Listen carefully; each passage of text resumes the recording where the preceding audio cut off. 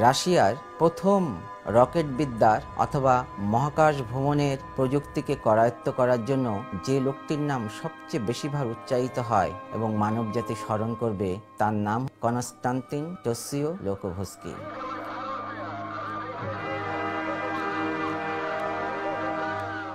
দারিদ্রতা, প্রতিকূলতায় কনস্ট্যান্ট তস্যভলস্কি তার তত্ত্বের এবং গাণিতিক সূত্রের বাস্তবে রূপায়ণ দেখে যেতে পারেননি।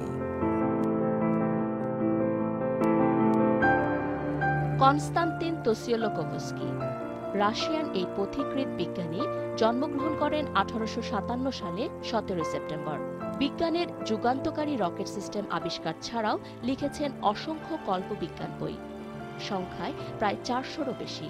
তোসিওলো কোবস্কির নামে চাঁদের একটি খাদের নামকরণ করা হয়েছে।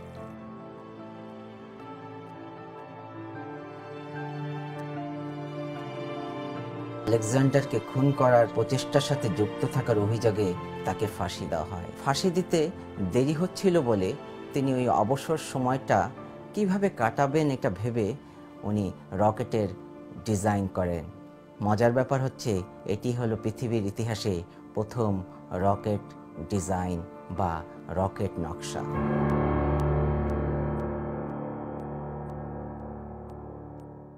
কিন্তু কনাস্তিন তোসিওভলস্কি প্রথম পদ্ধতিগতভাবে এই রকেট ডিজাইনের উপরে কাজ করেন এবং উনিশশো তিন সালে কীভাবে মহাশূন্য পরিভ্রমণের জন্য একটি রকেট মহাশূন্য যানকে অথবা উপগ্রহকে মহাকাশে অথবা কক্ষপথে স্থাপন করতে পারে সেই ব্যাপারে গাণিতিক সূত্র প্রয়োগ করেন। কিন্তু তিনি তা বাস্তবে দেখে যেতে পারেননি। অসম্ভব দারিদ্রতায় তার জীবন কেটেছিল।